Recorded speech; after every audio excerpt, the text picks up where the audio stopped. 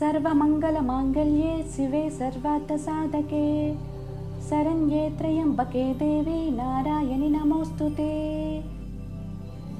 ఈ సంవత్సరం ఒక ప్రత్యేక అద్భుత అలంకారంతో అమ్మవారి దర్శనములు ఏర్పాటు చేయడం జరిగింది.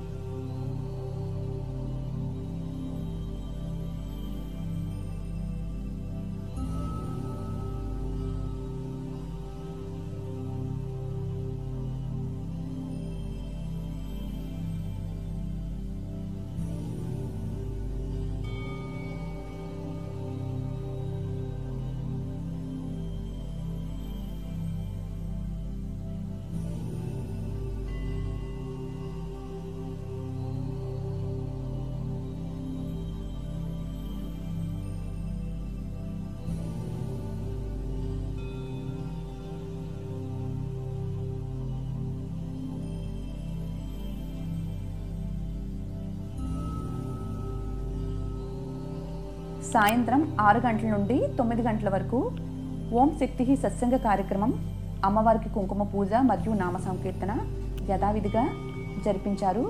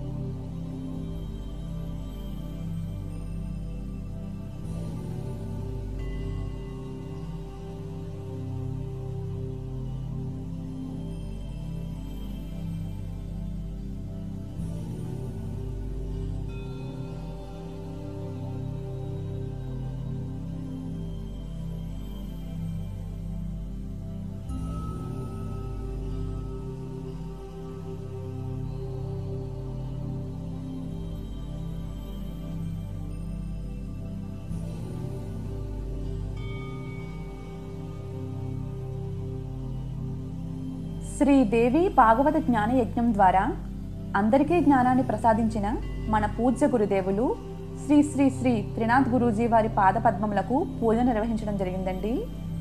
ఈ గురు పూజను దర్శించి భక్తులు గురువుగారి కృపకు పాత్రులయ్యారు. తెలుసుకుంటే గాని తెలుసుకోవడానికి ప్రయత్నం చేస్తే గాని గురుతత్వం బోధపడదు. గుణరహితుడు ఎటువంటి గుణాలు లేకుండా గుణాలకు అతీతమైనటువంటి స్వరూపం సద్గురువులో విశ్వమంతా ఉంది.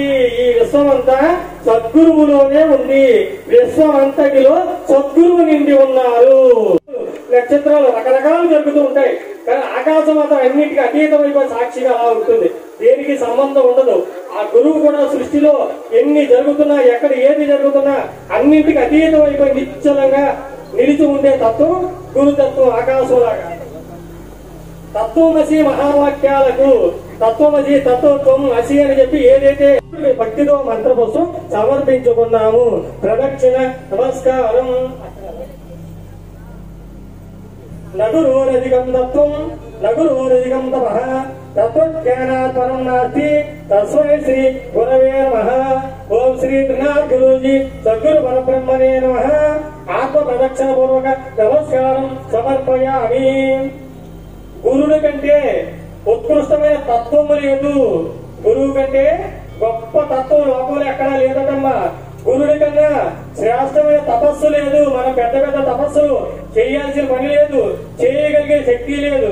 కానీ అన్నింటికంటే గొప్ప తపస్సు గురు పాదాలను ఆశ్రయించడం గురువుని నిరంతరం హృదయంలో పెట్టుకుని ధ్యానించడం దానికంటే శ్రేష్టమైన గొప్ప తపస్సు నిత్యమైనటువంటి వాడు గురువు పరిశుద్ధుడు పరిశుద్ధంతో ఉంటారు అతను ఎప్పుడు కూడా నిత్యలుడు నిత్యలత్వంతో అందరి బుద్ధులకు అందనటువంటి వాడి. మామూలు సామాన్యమైనటువంటి బుద్ధులకు గురుతత్వం బోధపడదు. గురు యొక్క పరిపూర్ణమైనటువంటి స్థితిని తెలుసుకుంటే గాని తెలుసుకోవడానికి ప్రయత్నం చేస్తే గాని గురుతత్వం బాధపడదు.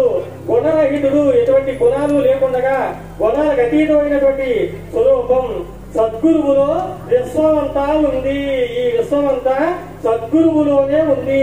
విశ్వమంతటిలో సద్గురువు నిండి ఉన్నారు. నక్షత్రాలు రకరకాలు జరుగుతూ ఉంటాయి. కానీ ఆకాశం మాత్రం అన్నిటికీ అతీతమైపోయి సాక్షిగా అలా ఉంటుంది. దేనికి సంబంధం ఉండదు. ఆ గురువు కూడా సృష్టిలో ఎన్ని జరుగుతున్నా ఎక్కడ ఏది జరుగుతున్నా అన్నింటికి అతీతమైపోయి నిశ్చలంగా నిలిచి ఉండే తత్వం గురుతత్వం ఆకాశంలాగా. తత్వమసి మహావాక్యాలకు తత్వమసి తత్వత్వం అసి అని చెప్పి ఏదైతే కర్మనామరస వాచ నిత్యమారాధయేద్గురుం దీర్ఘదండ నమస్కృత్య నిర్లజ్జో గురు సన్నిధౌ. ఓం శ్రీ గురూజీ సద్గురు పరబ్రహ్మణే నమ. శాస్త్రాంగ పూర్వక నమస్కారం సమర్పయామి. ఆ నమస్కారం చేసేటప్పుడు కూడా రొమ్ము భాగం శిరస్సు చూపు మనస్సు మాట కాళ్ళు చేతులు చెవులు. అంటే అష్ట అంగాలను అనమాట అందుకనే సా అష్ట అంగాలతో చేసేది సాష్టాంగ నమస్కారం. అలా నమస్కరించేటప్పుడు అటమ్మా చుట్టూ ఎంతమంది ఉన్నా సరే నేను నా గురువు మాత్రమే ఉన్నాను ఇంకెవ్వరూ లేరు అనే భావంతో ఉండి నిత్యము త్రికర్ణ శుద్ధిగా సద్దుని ఆరాధిస్తూ సిగ్గు విడిచి అంటే సిగ్గుపడుతూ ఎవరైనా చూస్తారేమో గురువు గారు నమస్కారం శాస్త్ర నమస్కారం చేస్తే అది లేకుండా శాస్త్రాంగ దండ ప్రణామాన్ని సమర్పిస్తున్నాము. సర్వోపచారం చత్రం ధారయామి చామరం వీజయామి నృత్యం దర్శయామి గీతం శ్రావయామి దర్పణం దర్శయామి అశ్వానారోహయామి గదిగా అశ్వానారోహయామి. అశ్వాలతో కూడిన రథమే తీసుకుని వచ్చాడు గురుగారు ఈ పూజలో ఉన్నట్టుగా అశ్వానారోహయామి గజానారోహయామి మళ్ళీ సార్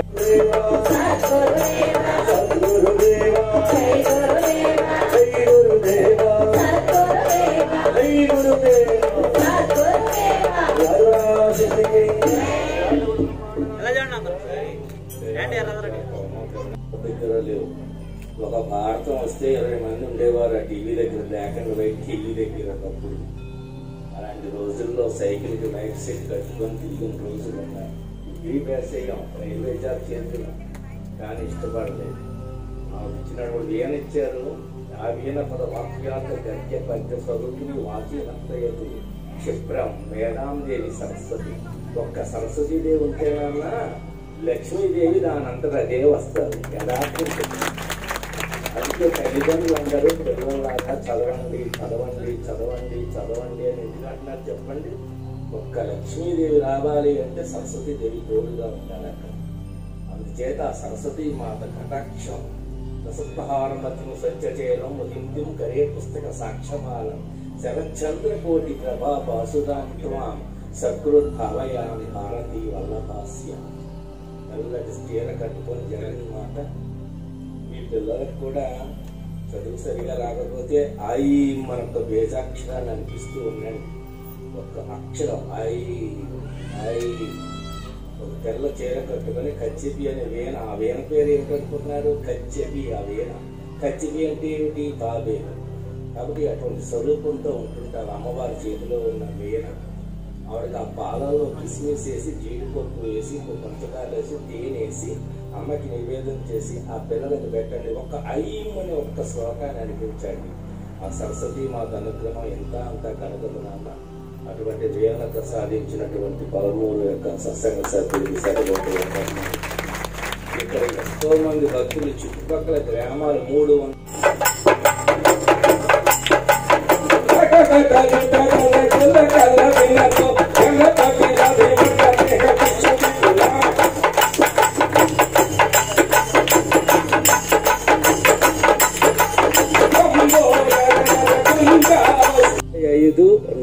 అంటే పదకొండో నెల ఇరవై ఏడో తారీఖు. అంటే ఏడు పదిహేడు ఇరవై ఏడు జై భవాని అవ్వాలని నా కోరిక. మరి ఇలాంటి కోరిక ఎవరు కోరుకోకూడదు. ఎందుకంటే ఎక్కడున్నా సరే సాయిబాబా గారు వారి యొక్క సూక్తుల్లో చిన్న మాట రాస్తారు. ఎందుకంటే ఎక్కడున్నా పిచ్చికి దారం కట్టి లాగినట్టు లాగుతానని నా సమాధి నుండే నేను మీకు సేవ చేస్తానని.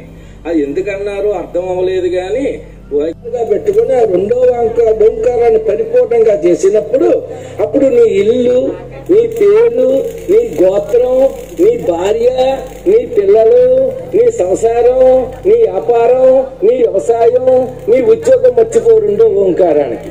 మరి మూడో ఓంకారానికి ఏం చేయాలండి? నీలో నువ్వు కలిసిపోవాలి. మూడో ఓంకారం ఒక్కసారి మీరు దయచేసి ఇంటి దగ్గర ఒక్కసారి ప్రాక్టీస్ చేయడానికి ప్రయత్నం చేయండి ప్రాక్టీస్ ఓం అంటే ఐశ్వర్యం బాగా వినండి. అసలు ఓం శక్తి అంటే ఏంటో అడుగుతారు అమ్మ. ఓం అంటే ఐశ్వర్యం ఇంకొక అర్థం ఈశ్వరత్వం ఈశ్వర ఐశ్వర్య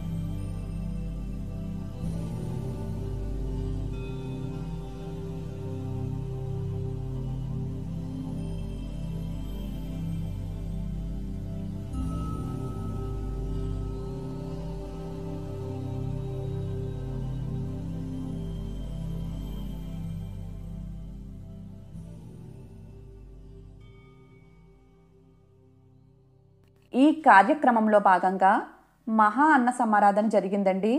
సుమారు ఐదు వేల మంది భక్తులకు అమ్మవారి ప్రసాదాన్ని అందించాలనే మహాసంకల్పంతో ఈ అన్న సమారాధన జరిగింది.